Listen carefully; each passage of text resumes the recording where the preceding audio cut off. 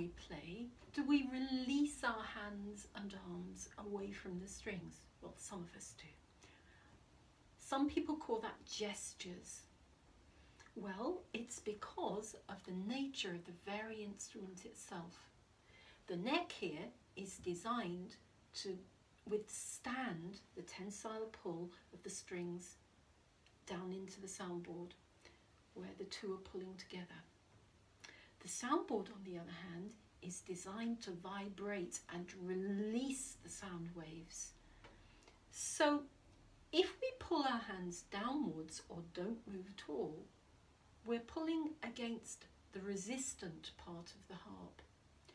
If we release away from the instrument, we release the sound with it. You can experiment and try that for yourself. It doesn't mean not articulating, we still articulate, but then we move the arms and release the sound to everybody.